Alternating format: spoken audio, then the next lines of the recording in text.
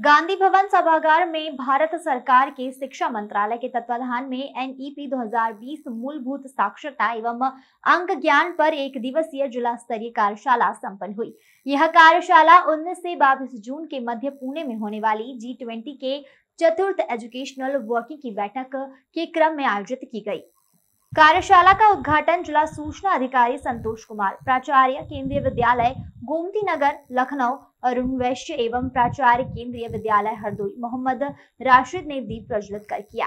कार्यक्रम में प्राचार्य केंद्रीय विद्यालय हरदोई ने बताया कि कार्यशाला के माध्यम से जनपद व देश में शिक्षा की गुणवत्ता के सुधार में मदद मिलेगी।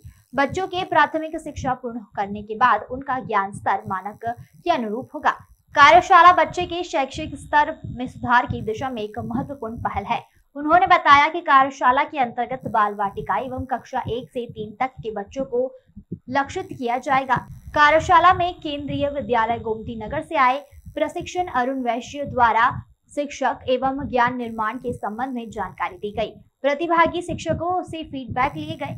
कार्यशाला का संयोजन केंद्रीय विद्यालय हरदोई द्वारा किया गया। इस अवसर पर बेसिक शिक्षा अधिकारी डॉक्टर विनीता सिंह व बड़ी संख्या में प्रतिभागी शिक्षक उपस्थित रहे। अखिलेश सिंह की report. Foundational literacy and numeracy as you all are aware that Ministry of Education under NEAP has shown the concern that our small students like lower kids from Balavatika class 1, 2 and